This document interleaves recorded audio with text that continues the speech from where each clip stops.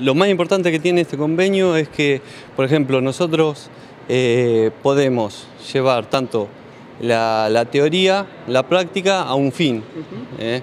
El convenio con PAMI nos permite a nosotros, a mí más que nada como docente, que los chicos eh, realicen un trabajo que tengan una finalidad.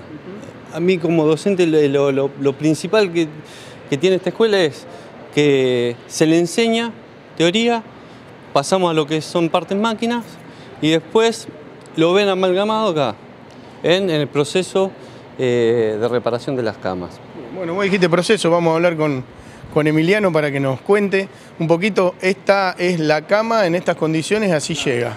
La cama llega con la rosca gastada, por así decir, por el peso y zafa. Entonces nosotros lo que hacemos cuando nos traen las camas es primero sacar el tornillo, que es la que mantiene el caño firme, sacamos la chaveta y sacamos lo que sería todo toda la rosca.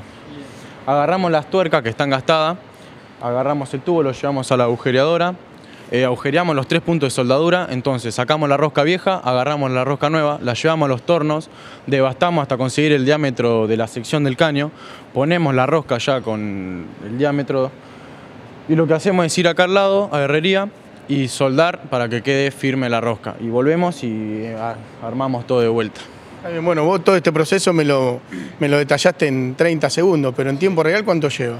Y nos lleva más o menos, hacemos, tenemos cuatro horas los lunes y en esas cuatro horas armamos dos camas, sería eh, bastante, lleva bastante. ¿Todas las camas llegan en las mismas condiciones o algunas mejores o peores que otras? No, todas llegan con, sería la rosca gastada, pero algunas llevan, llegan golpeadas, también maltratadas, por así decir, y nosotros, bueno, las retocamos lo que más podemos.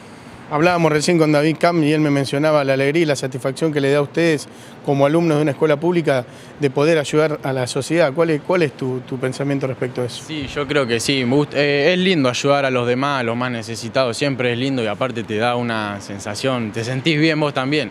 Y además esto también nos ayuda a nosotros a aprender, ¿no? Está bueno, a mí me gusta mucho. ¿Cómo es? Eh, lo bueno de un proyecto como esto es que a los chicos lo motiva lo motiva a trabajar, a aprender. O sea, al plasmarlo en este, en este convenio, en, este, en estas camas, ellos saben que están haciendo algo útil. Eso es lo interesante y lo lindo de poder realizar este convenio con PAMI o con cualquier institución.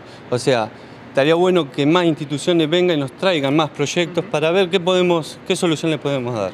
Acá van a tener las puertas abiertas. Totalmente, totalmente. Para eso estamos.